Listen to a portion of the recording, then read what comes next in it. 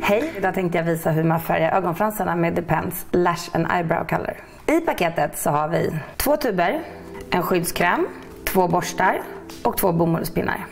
Börja med att ta tub nummer ett och applicera en jämn sträng av färggelén på den första borsten. Sen applicerar du gelén som en mascara. Jag brukar ta lite ovanifrån och så lite på underfransarna. Var noga med att du får gelé över hela fransen från rot till topp. Så, nu låter du gelén sitta i två minuter. Torka av gelén med en bomullspad.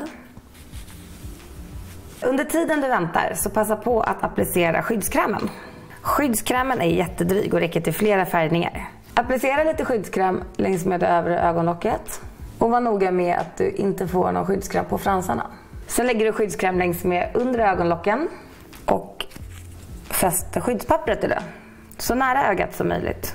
Sen tar jag tub nummer två och lägger en jämn sträng längs med den andra borsten. Sen lägger vi, precis som en mascara, längs med fransarna. Se till att du får gelén över hela fransen, från roten till toppen. Så. När du ska ta ny gelé, så torka av borsten först, innan du lägger en ny sträng.